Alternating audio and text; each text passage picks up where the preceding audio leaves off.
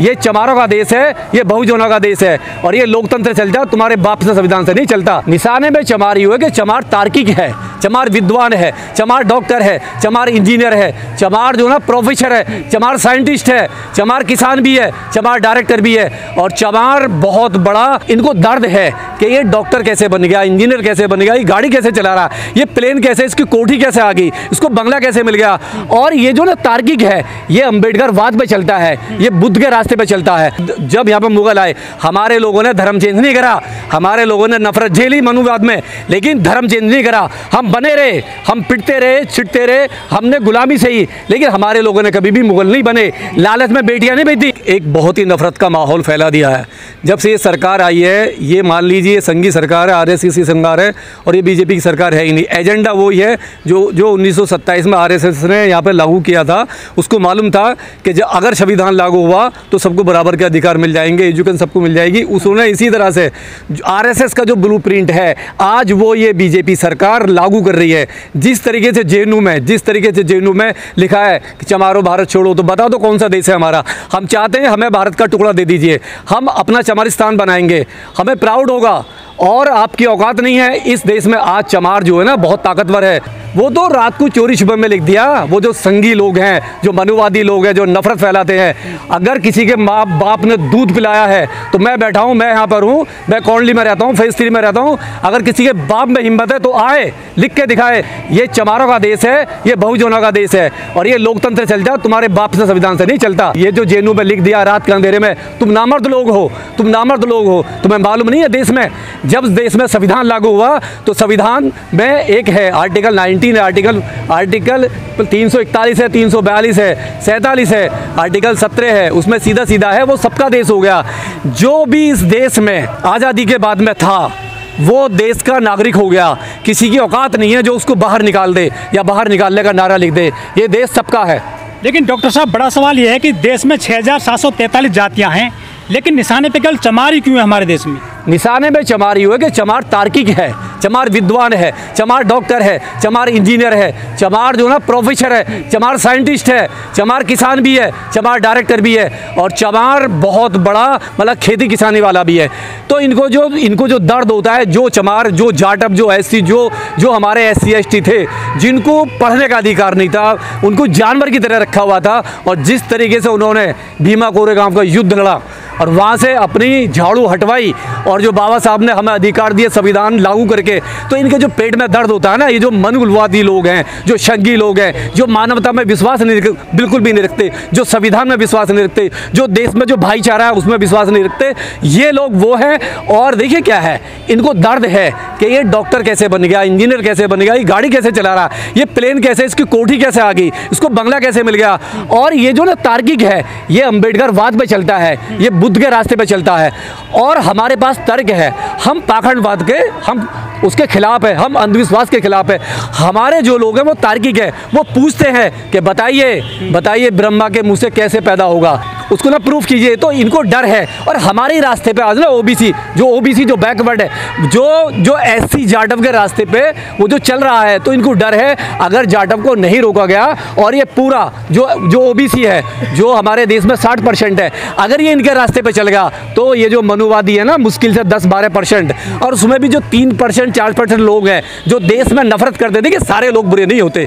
जो पंद्रह परसेंट लोग हैं, उसमें सारे लोग बुरे नहीं है। उसमें पाँच छः परसेंट ऐसे लोग हैं जो देश में नफरत फैलाना चाहते हैं, देश के ताने बाने को तोड़ना चाहते हैं। तो ये ये उनके मुँह पे जोरदार तमाचा है और हमारे जैसे लोग, हमारे जैसे लोग उनका विरोध करते रहेंगे और जो भी उनका सिस्टम है, जो भी ये लोग, जो भी संविधान पर हमला करते हैं, चाहे जेनू पर हमला करते हो या और भी मैटर है, हम उसका विरोध करते रहेंगे और हम इनकी आँखें खोलते रहेंगे। लेकिन डॉक्टर साहब, बड़ा सवाल ये भी है कि चमारों की, महारों की रेजिमेंट रही है देश में। बहुत खुदगर्ज कौम है, मेहनती कौम है, दयालु कौम है।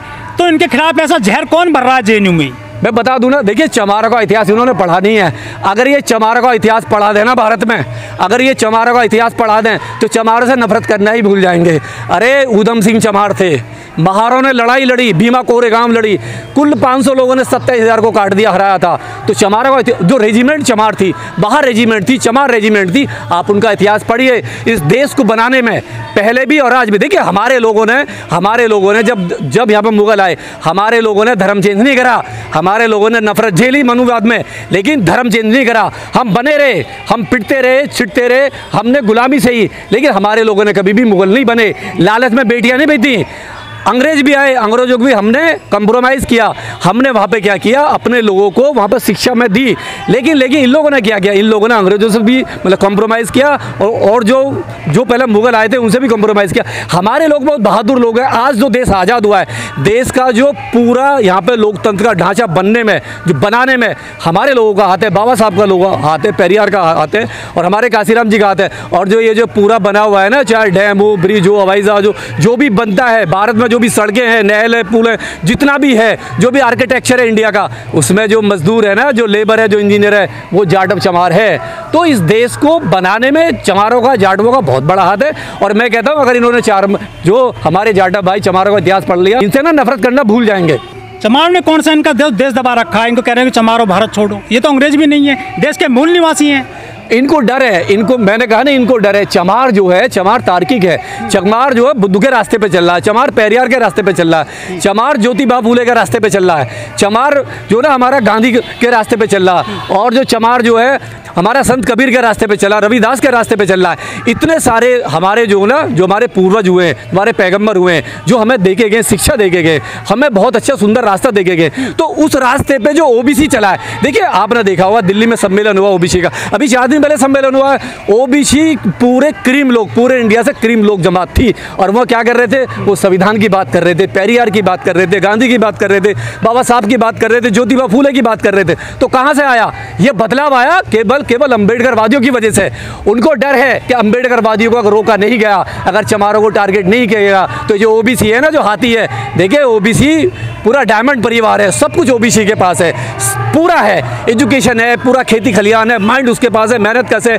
लेकिन जिस तरीके से ओबीसी को इन्होंने गुलाम बना रखा है, धर्म के नाम पे, पाखंड के नाम पे ओबीसी का जो जो क्रीमी वर्ग है, वो उस लेयर को तोड़ना चाह रहा है। लेकिन अब जब वो तोड़ रहा है, वो देखा, देखी हमारी, जो जो हम अम्बेडकरवादी लोग हैं, उनके वो रास्ते पे चल रहा है और हमें साथ लेके चल रहा है। वो एक कदम हमारे साथ वो बढ़ा रहा है तो वो इनके पेट में दर्द है। अगर वो हमारे साथ मिल गया तो इनका ना भारत में रहना इसको लोगों मुश्किल हो जाएगा।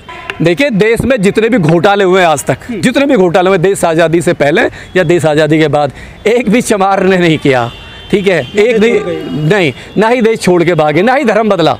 देखिए ये जो सात हज़ार लोग भागे हैं पैसा लेके सात लाख। लोग जो भागे पैसा लेके।